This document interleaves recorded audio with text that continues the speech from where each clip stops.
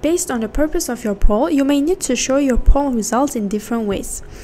Uh, luckily, the WordPress Poll Maker plugin allows you to show the visual representation of your poll results in several ways. But first of all, let's find this feature. Go to the Results Settings section and scroll down till you can see the Show Results by option.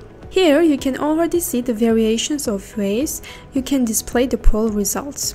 The first one is the bar chart, which is great for comparing two categories to understand which category has more or less of something. And this is how they look like for an actual poll. You can also display them as a pie chart, which will work best to show percentages of a data set to show the relationship of the fraction to the whole, to indicate the contribution of each fraction to the whole, and to compare the contribution of fractions. Here is an example of a pie chart. Column charts are another way to show your poll results and are best for comparing distinct categories. And this is how a column chart works for poll results. Bar chart Google is another very handy way to show your poll results. Uh, it is generated via a third party, which is the Google Charts, um, and they're generated by Google and have some styling differences compared to our plugin's bar chart style.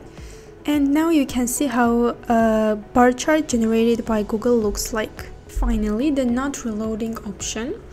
Uh, it displays the poll results without reloading the page and shows the results directly on this page as you can see it. Now it is up to you to decide which type of chart suits your needs and goals the best and choose the one that is most suitable for you to get the maximum benefit from your polls.